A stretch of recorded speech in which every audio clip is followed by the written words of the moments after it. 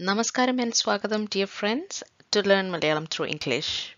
In this episode, we are going to learn simple future tense in Malayalam. So, let us get started.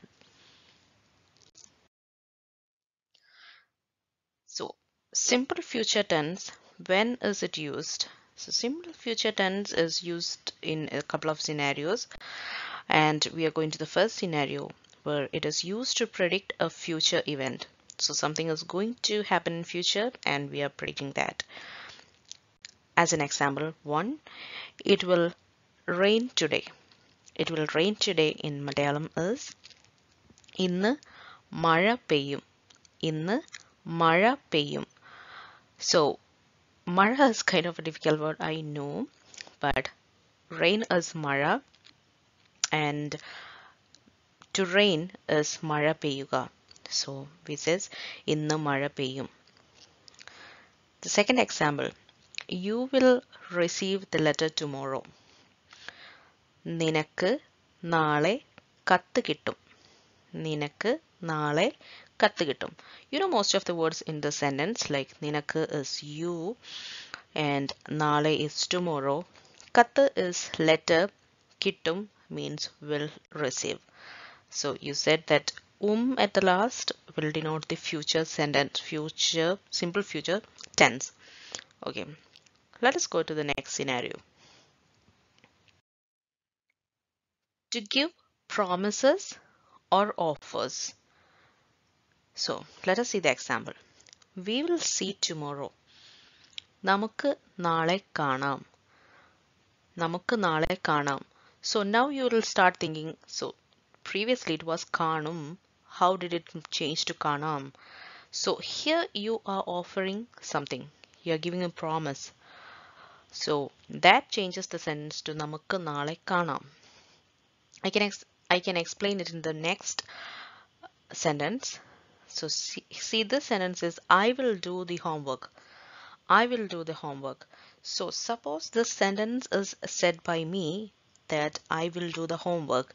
Then it means I am I am stating it as I am going to do this so ഞാൻ homework ചെയ്യും ഞാൻ homework ചെയ്യും but suppose you are offering someone suppose the scenario where you are offering your siblings or your friends that you are going to do their homework for them which is not so good but still so you are offering that to them so you says ഞാൻ homework ചെയ്യാം like I am offering it ഞാൻ homework ചെയ്യാം I will do it for you so it means like you are offering you'll do, do it for them or sometimes let us suppose this scenario where your mother scolds you and there is no other way you have to do your homework so you are giving that promise to your mom saying like ഞാൻ homework ചെയ്യാം ഞാൻ ചെയ്യാം so that that is the second scenario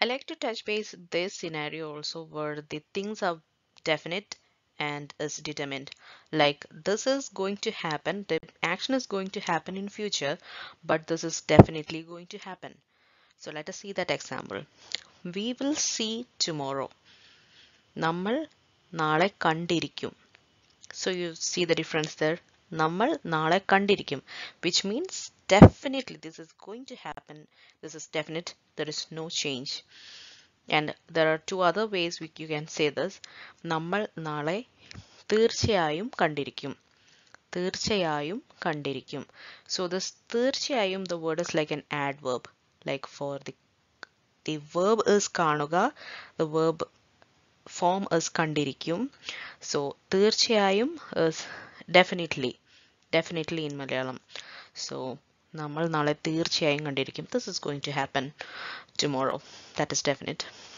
നമ്മൾ നാളെ ഉറപ്പായും കണ്ടിരിക്കും ഉറപ്പ് in Malayalam is promise so I'm promising you this is going to be definite that we are going to see tomorrow that's one example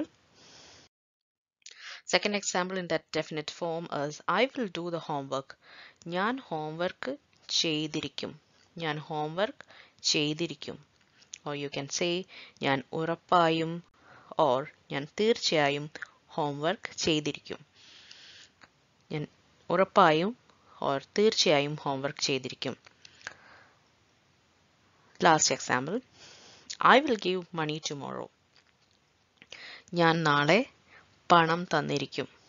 ഞാൻ നാളെ പണം തന്നിരിക്കും. Money is പണം. ഞാൻ നാളെ പണം തന്നിരിക്കും ഓർ യു ക്യാൻ സേ ഞാൻ ഉറപ്പായും നാളെ പണം തന്നിരിക്കും ഞാൻ ഉറപ്പായും ഓർ ഞാൻ തീർച്ചയായും നാളെ പണം തന്നിരിക്കും I have used homework in all these sentences, but still homework has got a Malayalam word on its own. So I'd like to say that to you it is Griha Padam. Griha Padam.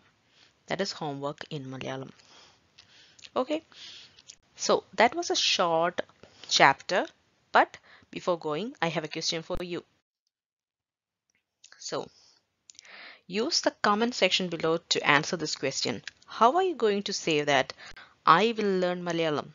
Because you people are so definite about that because my videos are there for you. So, and my clue is that to learn is padikuga in Malayalam. Padikuga.